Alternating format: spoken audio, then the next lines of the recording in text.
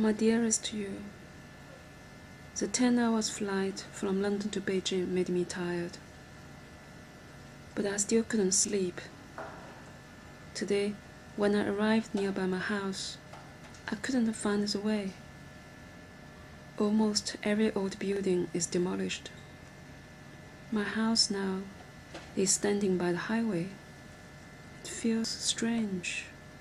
After four years living in old London, now I'm back to this brand new world constructed by the highway. I felt as if I was in a city in America. Behind my house is a restaurant. I observed this backyard all night. The chefs and the waiters shouted to each other in a southern dialect.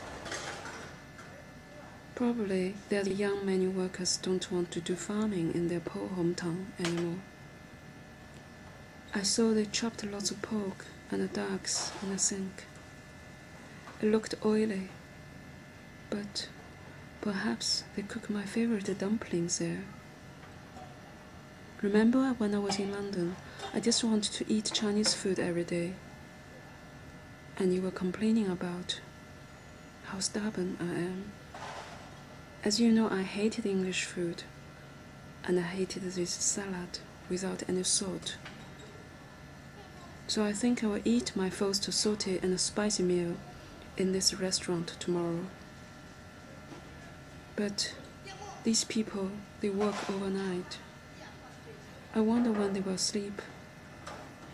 It felt like no one sleeps in Beijing, and the construction work is also carrying on on the highway in the middle of night. I will write to you very soon.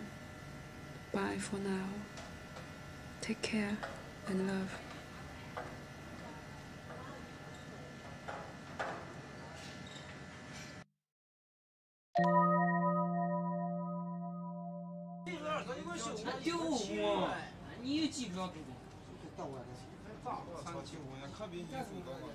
My dearest you, how are you in London?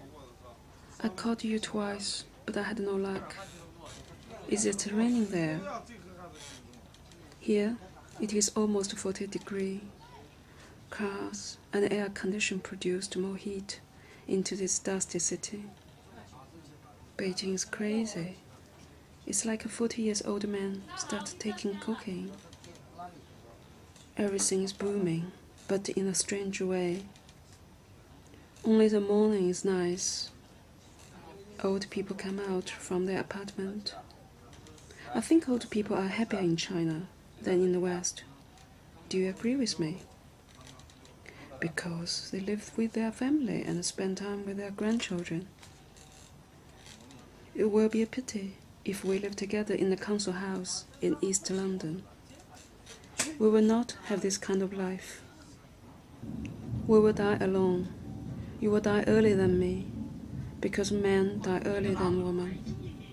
So then I will die alone in the end, in a silent and gloomy house. Scary when I think of our old age. Maybe we should move back to China. Maybe we should live like these people, energetic, laughing from the early morning. I hope finally you find yourself a nice bicycle from the Brick Lane Market, and I hope to hear from you very soon. Love.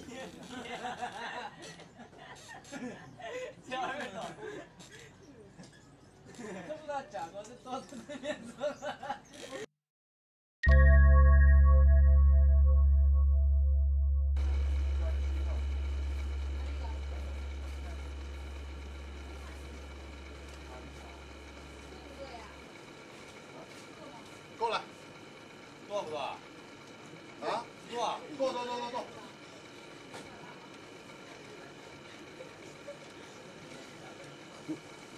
快点，这你要不过来，这还就不拍了呢。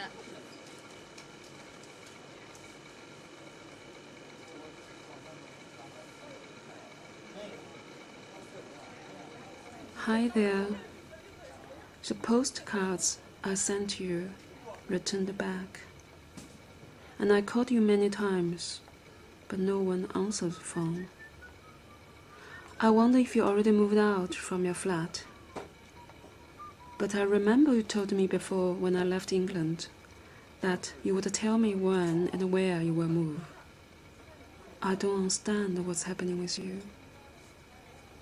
Here in Beijing, the heat is continually arising. They are digging the holes to build the subway for the 2008 Olympics. Everyone talks about VC, venture capital. It's probably American word. They say it's a new way to make lots of money. I often wander around in the messy street. Don't know if I like this country or dislike it. Anyway, I want to hear from you very soon. And I will keep trying to call you. Kiss. Sorry.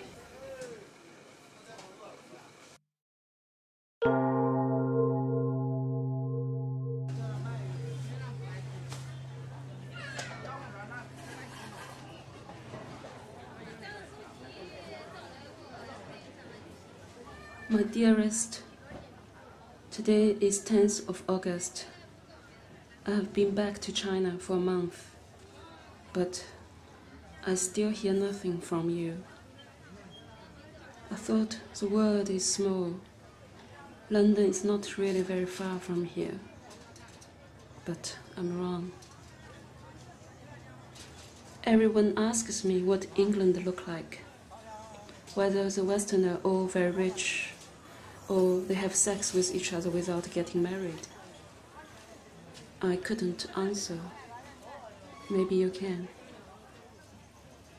I spent my everyday like these people, doing nothing but waiting for something happen. I miss you a lot.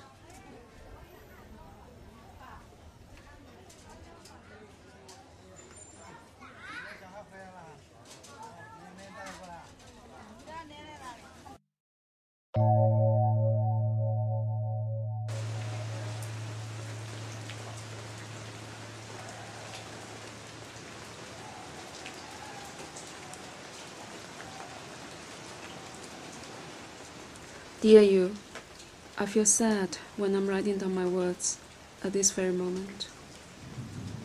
I dialed your number almost every day, but I hear nothing back. I also called your friends, but they didn't tell me where you are. I think they do know where you are, but they don't want me to know. People don't say straight things in the West. That's what I hated. Here, I try to live my everyday more or less like other people buying vegetables, cooking meat, wandering in the cheap market, watching pilot DVDs at night, thinking about family and all that. I guess you wouldn't receive this postcard as many others, and I wonder if you would ever write to me or call me. By the way, just to let you know, this morning I cancelled my flight. So I will not come back to England this week. I don't know when I will be back. Maybe I will know until the day you write me back. Or maybe I will never come back to England. But I know I will think about the other side of the world on my pillow. Take care and still love to you.